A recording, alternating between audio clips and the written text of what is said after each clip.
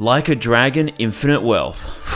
what a game. If I had to describe it in one word, I couldn't. I'd be too busy going before I could even say anything. There are so many things that make this game incredible, from the gameplay to the story to the music, and I'm here to tell you about as much of it as I can before I get too impatient and just go back to playing the game. Starting right now. This game is a direct sequel to 2020's Yakuza Like a Dragon, and this one makes that one look like it was made by a bunch of uni students who failed their degree in their first year. To say that Infinite Wealth is an improvement to that game would honestly be an insult because this game's just a bloody revolution. If you'd like a super in-depth analysis on all the changes and new stuff with this game, you can go ahead and watch this incredible video made by a super sexy man after you watch this one. But to summarize some of the biggest improvements, I'll start with the most important one. Infinite Wealth added the ability to move move in combat, which for any turn-based RPG you'd probably think, so? But for this game, it adds such a massive layer to the gameplay. There's also features that were exclusive to certain characters or jobs, which have been given to everyone, like being able to pick up environmental objects to use as weapons like bikes or bins, and generating your MP from normal attacks. In fact, there's a ton of new or improved features relating to your position in battle, and how you use your basic attacks, which in previous game, your position was just down to how much the game wanted to troll you, and your basic attacks were just tickle devices you'd use for a laugh. I could go on for minutes about all of the changes and improvements made to this,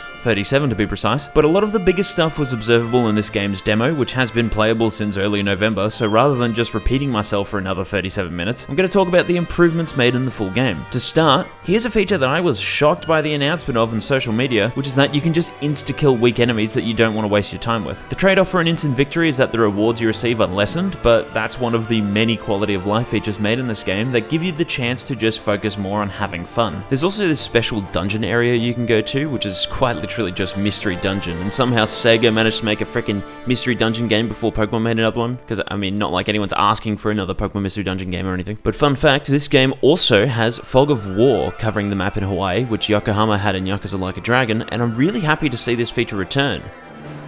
So what I would say, if it weren't for the fact that this feature sucks, just use Google Maps Ichiban, you dickhead. You can also learn new auto battle tactics like Protect the Leader, which that one specifically can be unlocked from playing Shogi. I will never use it though, lol. And after like 50 hours, I never saw another auto battle tactic you could unlock, so I don't know what else there is. And then this isn't exactly gameplay related, but I also just wanted to point out that just like with Gaiden, this game has done a fantastic job at looking bloody gorgeous. It was mostly down to the lighting, as well as implementation of some technology like DLSS, despite that thing's problems it can have, that has allowed Gaiden and Infinite Wealth to both look so much better than previous games. The cutscenes that are just the hit X to skip ones look way better, the color choices are so much better, even the freaking map screen looks better. If you have a display that supports HDR as well, please for the love of go! Turn that shit on. You will not at all regret it. But anyway, there's a super fat chunk of brand new content to enjoy in this game, almost to the point of it being excessive. Obviously, there's tons of new fights to experience doing the main story or out in the open world, but there's also plenty of new jobs, skills, and weapons you can use to smack the shit out of those enemies in various ways. In saying that though, as I'm recording this, I don't believe that there are any skills in the game that consume HP rather than MP, similar to what you see in Persona. Not that that's essential, but I sort of thought it would be interesting to see skills that do that, and I was also kinda hoping for passive skills that are unique to the jobs, as well as maybe a job or multiple jobs that focus more on supporting party members with buffs or debuffing enemies, rather than how it was in Like a Dragon where a support job just heals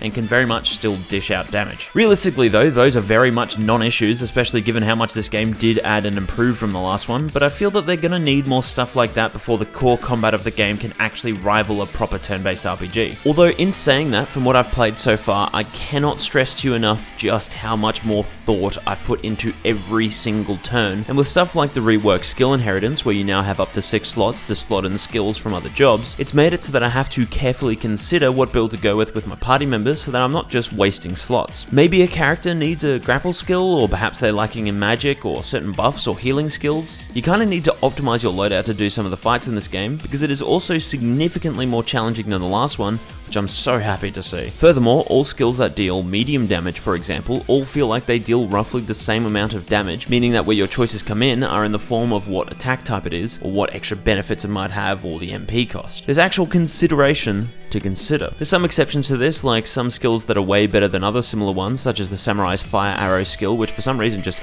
obliterates everything that doesn't resist fire or gun. But regardless, it is nowhere near the level of absurdly poor balancing that Yakuza Like a Dragon was like. Character levels are also significantly more important than job levels, and so it means you're free to experiment more and learn what you like or what you need to be as efficient in combat as possible. Although you can kinda still mash whatever skills and heal when need be, because there's still seemingly no enemies that might be immune to a certain damage type or something. And even though it's done much better, you can sort of attack enemies with types they resist, with the only downside being that your fight is going to go a little bit longer. But where a series like Persona, like I mentioned before, has better thought out combat, Yakuza Like a Dragon as well as Infinite Wealth have the benefit of being Yakuza games, which means a gargantuan amount of ridiculously fun side content. I mean, even one of the mini games is literally Pokemon. Of course, that's not as in-depth as actual Pokemon, nor is the Animal Crossing style mini game not as in-depth as actual Animal Crossing, but side activities like that just give so much incentive to completely forget the main game and just play them for hours. They've also got a crazy taxi homage, Uber Eats minigame, whatever you'd call it. Pokemon Snap, but I swear to god, like everyone who said positive things about this minigame was paid to do it because it, it's boring as shit. But you know what's not boring? Having Spike Out as an arcade game, which fun fact, was made by RGG Studio long before they were called that, and long before the Yakuza series was even a thing, which when you look at it, you can see there are a lot of things that eventually worked their way into Yakuza, like how long battles are basically structured, or stuff like From Yakuza 3's fighting style. You can also go ahead and catch some fish! a lot of mini games from the first game are also still here, like Can Quest, where you ride around and pick up cans, which sounds boring, but I promise it isn't, as well as the little quiz mini game, which not only is a way to quiz yourself, but also level up Ichiban's personality stats, so it's both fun and rewarding. Except when you're like, oh yeah, music theory quiz, let's go, I'm gonna ace this, and then it, it just asks you questions like, what was the name of Beethoven's dog? And I'm like, I don't know, Beethoven? How am I supposed to know that, Sega? Why don't you ask questions that actually make sense, like who is Mr. Worldwide? But man, some of the stuff you can do in this game is crazy, but nothing beats the sheer insanity from some of the encounters you can have in the open world. Something I've actually noticed with this game is um, when you go to target an enemy, and this is like compared to the original game, wait, oh, I have no idea what is happening. Um, Holy shit! But speaking of the open world, in the full game we get to explore the entirety of Hawaii, well, the Hawaii map, not the actual place, which in the demo was locked to a rather small section of it. And man, is it fun to explore. Not only is Hawaii a new map in the game for the first time since, coincidentally, Yakuza Like a Dragon in 2020, but it is also the very first time that one of these games lets you run around outside of Japan. All the new sights and sounds are so refreshing and exciting, and honestly, although I've never been to Hawaii, running around the map makes me feel like I'm going on a tour around the place or something. It's also super interesting playing these games and seeing US dollars, hearing people speak English on the streets, looking at posters, signs, shops, products that are all completely different to what I've gotten used to seeing in the games and I'm sure there are a myriad of games set in Hawaii, but the only games I've ever played that have this place as an explorable area are the Sun and Moon Pokemon games and uh, Modern Combat 4. I don't know if anyone ever played those old like Gameloft first-person shooters on iPhone and iPad and stuff. But anyway, Sun and Moon depict a much more natural Hawaii, and it's also you know, Pokemon, so it's not real. So this is a very unique experience for me. And because Hawaii is part of the United States, it means we don't have the tiny little Japanese cars driven by people that look like PS1, like you do in Japan, but instead we have these big fat American piles of shit that are excessively big and are obviously used to compensate for something, and that are too big to fit in any of our driveways or car parks Stop importing them for God's sake. But also, part of the appeal of the previous cities, in particular Kamurocho, is that beautifully depicted nightlife with all of the neon signs shining on the streets, which Hawaii doesn't have. Well, it still does look very lovely at night, but it's just not the same as Kamurocho. Instead, you get a beautiful view of a tropical environment with the sand, the water, the trees. It's not just how it's depicted in game, but Japan has like no nature anyway, unless you go somewhere into the mountains or something like that. And although this place is rather urbanized and filled with a shitload of people clogging every turn, it's nice to see that blend of nature with the city and not have it be locked to some sort of side thing like the hunting in Yakuza 5. Again, it's all very refreshing to see in this series, and it makes me very hopeful that one day more of the games go into more countries around the world, mostly because it'll provide a unique experience, but also because I would absolutely love to see how these developers represent cities from around the world, in particular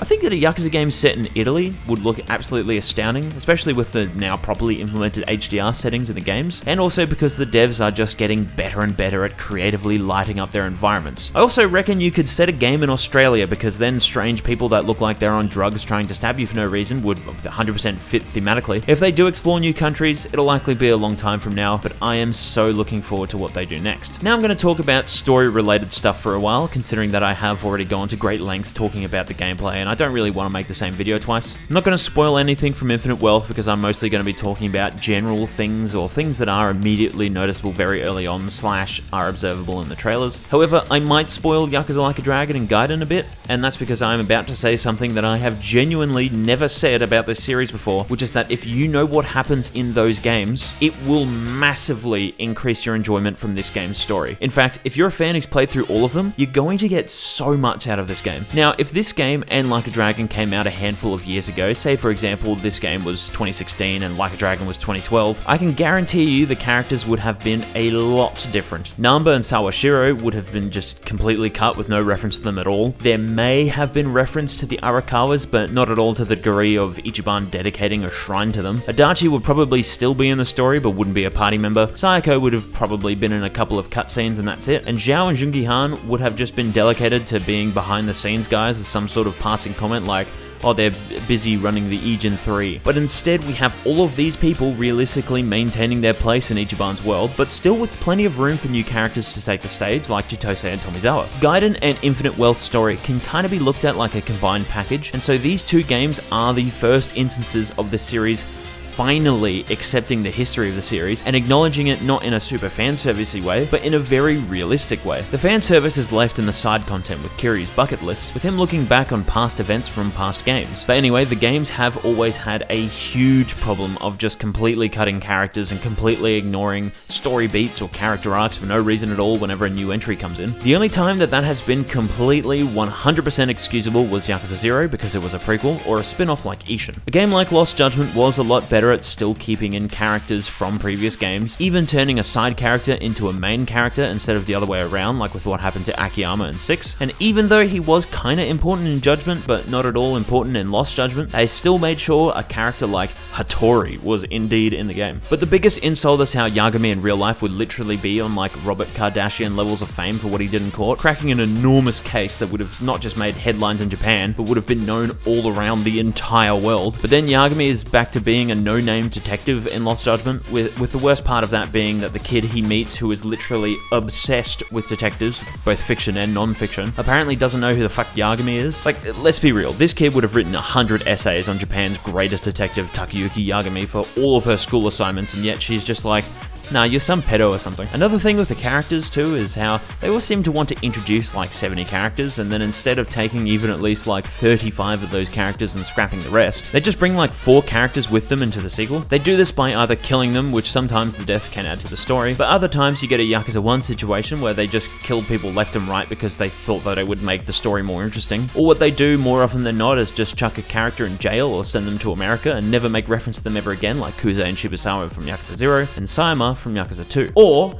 and this is the worst one, literally just evaporate them from existence like Tanimura and Shinada who were both protagonists. While I can't exactly pin the blame on any specific people or reasons, I will say that coincidentally the less and less people like uh, Nagoshi became involved with the games, the better the games were at acknowledging previous entries and maintaining a consistent cast of characters. And now, since him and the other people that have left have left, coincidentally, we have Gaiden being literally Yakuza 6 if it was even remotely good, and Infinite Wealth, which is, in the truest sense, Yakuza Like a Dragon 2. If you don't want a consistent world, do what Xenoblade does with alternate dimensions or what Final Fantasy does with each game being a different universe. But if you're gonna keep the same people in the same cities in the same franchise, please for the love of Christ, Keep on doing what you've done with this and Gaiden and make it so that your sequels are actual sequels. Because the thing I love about the Yakuza games is how they're able to make their characters not seem like characters in a story, but real people who are actually human. Now obviously poorly written characters can be a global experience, but something I often notice in a lot of Japanese media, whether it be games, shows, or movies, is that they tend to rely on very typical anime tropes, which leads to almost every character being completely one note with one single personality trait. You'll find this is more common in the more anime stuff, but it gets really annoying when you get a character who doesn't think or act realistically, and while it's fine for a side character to do that, a lot of the time it'll be a main character. But then on the opposite end of the world, there's the Western character tropes used in a lot of Western media, who more often than not will also have a single character trait that's supposed to make them human,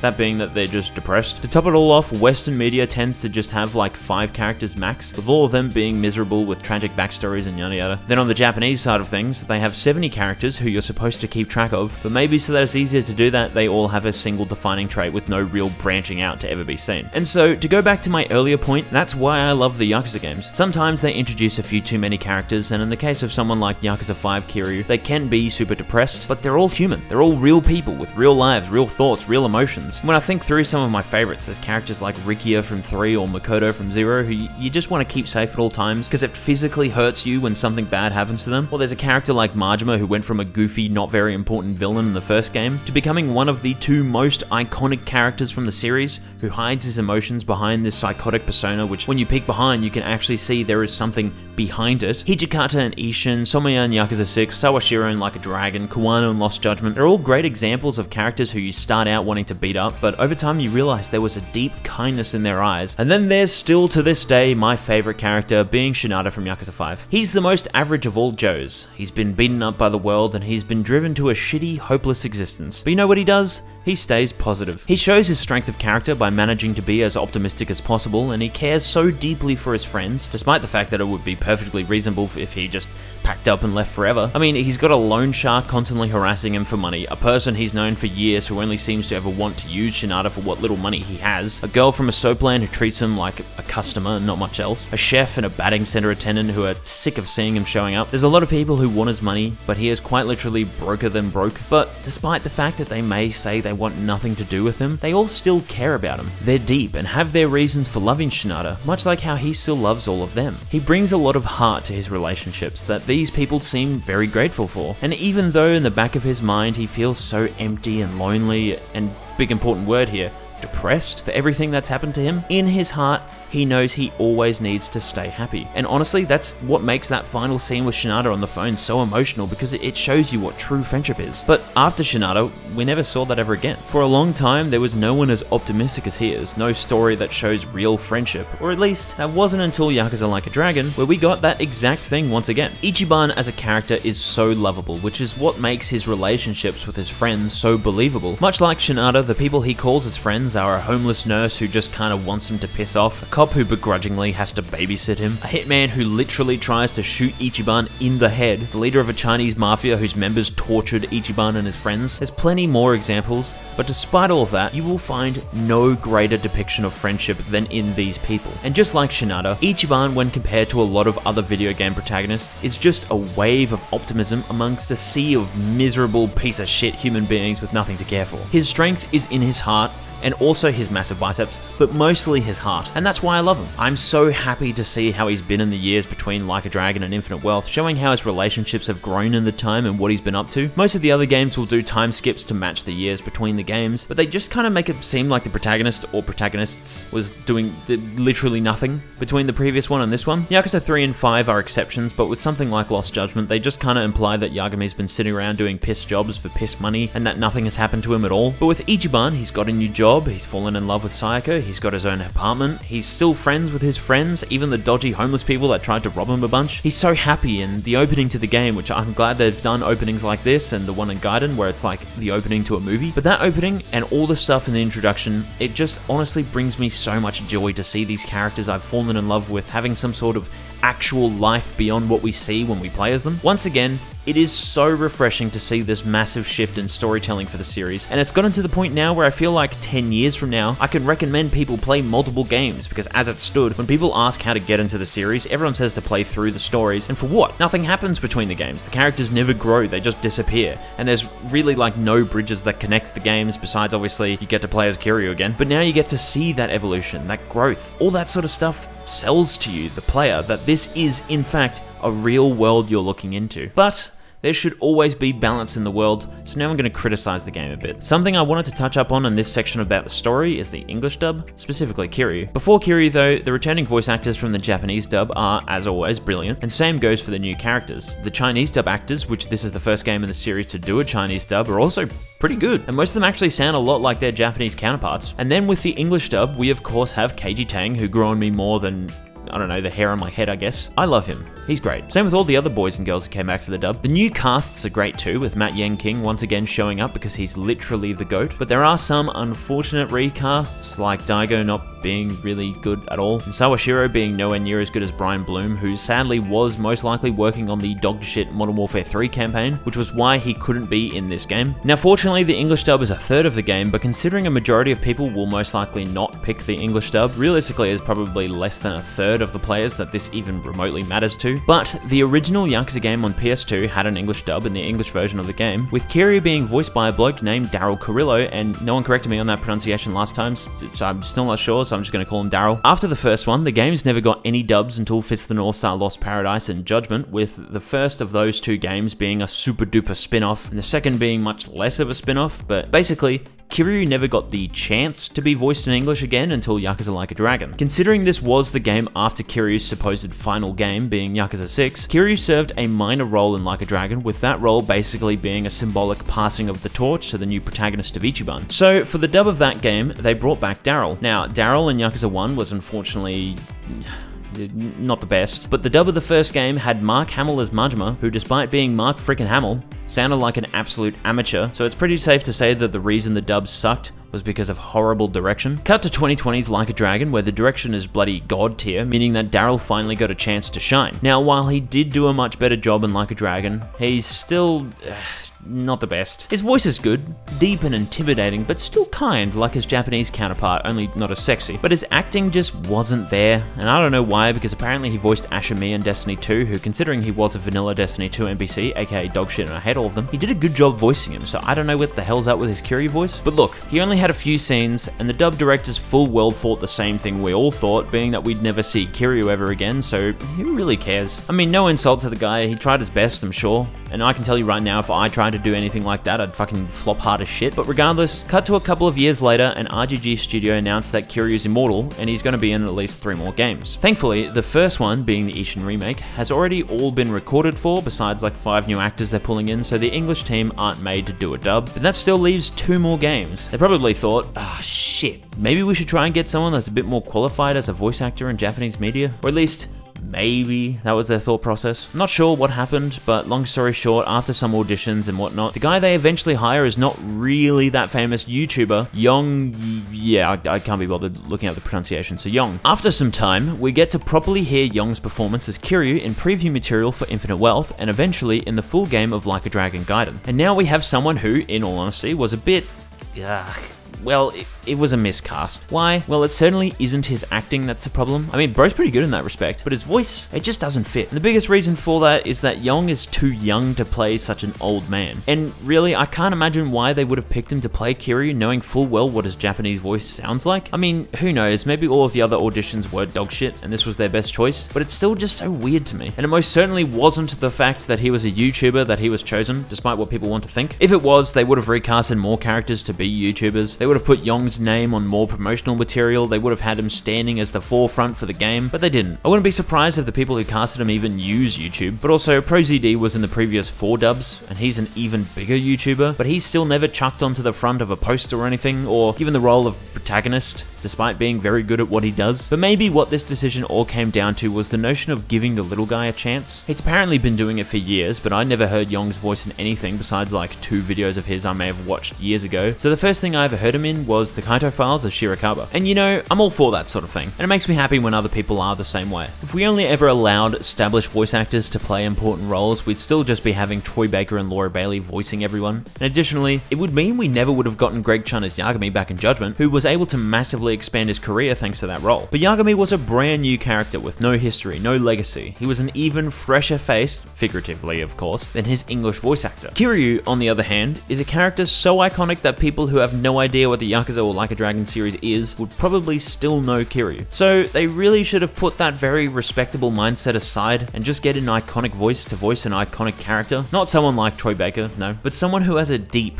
powerful voice. Someone who has good range and a good history behind them as a highly regarded actor. Someone like, uh, you know, so, someone like the voice of Arbiter from Halo 2. If they came to hear me beg, they will be disappointed. Someone like the voice actor for Julius in Saints Row. Every motherfucker here knows what we need to do. Now those bitches be riding around here thinking they own these streets. I don't care what flags they flying. Rollers, Carnales, Vice Kings. Or maybe even the voice actor for Keith David in Saints Row 4.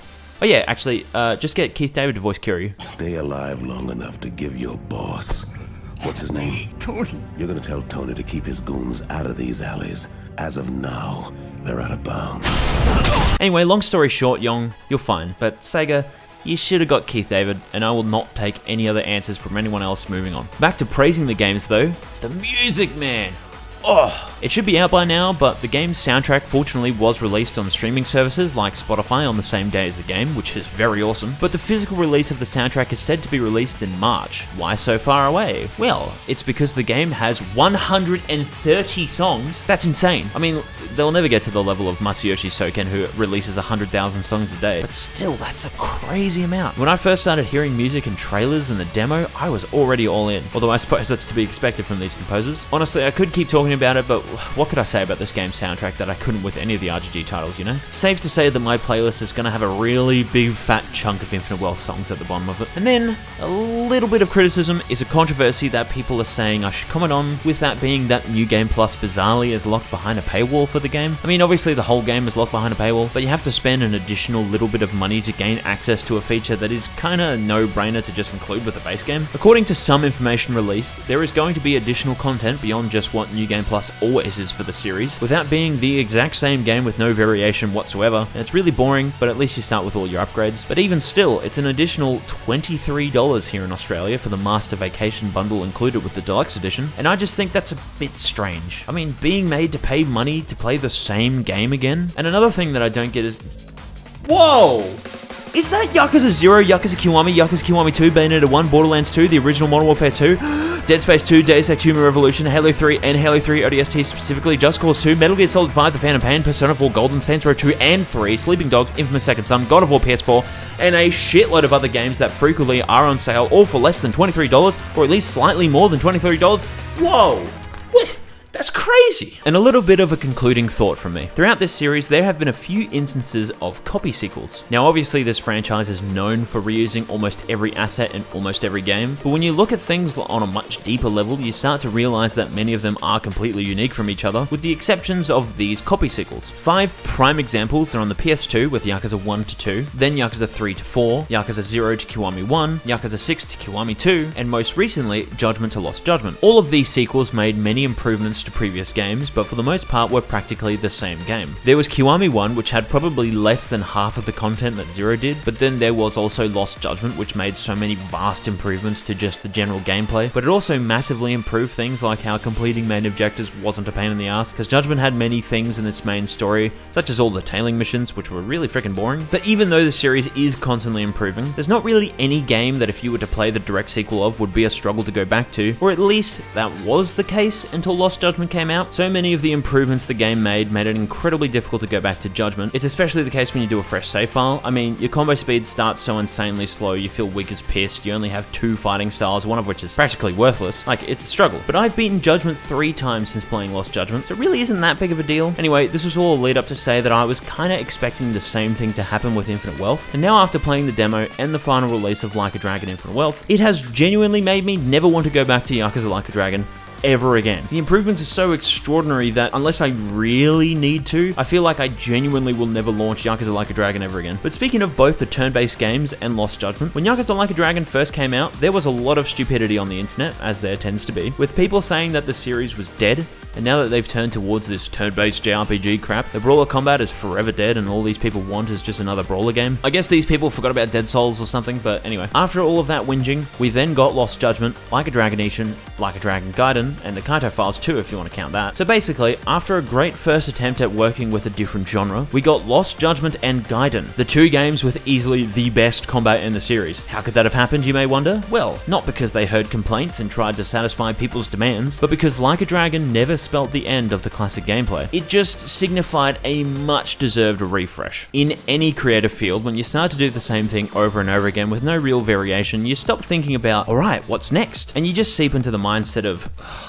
here we go again. And so when you start getting to the stage where you just can't really see how you're going to move forward, you need to swap to something completely different to refresh yourself so that you can come back to what you were doing better than ever before. If you ever hear someone say that they have good taste in music and you check out their playlist and it's all just one genre of music, they are a big fat liar. Good taste is a song in guidance, but it's also variation. The same can be applied to really anything, but for this video, it's applicable to taste in video games. You should, as someone who enjoys games, be able to enjoy multiple genres, and if you enjoy Yakuza games, there is genuinely nothing stopping you from still enjoying Yakuza Like a Dragon, besides these boneheaded preconceived notions that people have that the game should have never existed. Because you know what? I love RPGs. I've played so many to the point that it is my favorite genre of game, but despite that, I can easily admit that Yakuza Like a Dragon was not a very strong RPG. And yet, all of the things that make it a Yakuza game, being the way the story is presented, the side content, the world, the music, all that stuff is still present and was done very well. So I still really enjoyed it and could definitely appreciate what they did and how they did it. And because of what they did, the creators were able to refresh themselves and immediately after Like a Dragon, we got Lost Judgment. But now going back to talking about Infinite Wealth, although they only did one turn-based game, they were still able to once again refresh themselves with the three and a bit releases that they had between 2020 and now. And thanks to that,